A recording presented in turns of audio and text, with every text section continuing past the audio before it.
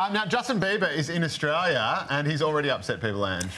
Well, he's, he's made a lot of people very happy too, because anytime he sees fans, they scream and say, "Oh, it's great to see you," and uh, "Can we get a photo?" and so forth. And he gets this a lot. So what he's done is taken to Snapchat to give a bit of a how-to guide on just how to approach him uh, when you do want to get a photo and an autograph. Um, have a listen. The, the way that you ask or approach me when you want a photo with me is going to determine if I take a photo or not. If I continue just walking, the likelihood is probably that I don't want to take a photo at that moment. It's like, why did you travel to see me in the first place? Was it really to see me, or was it to get that moment of you seeing me so that you could tell people about it?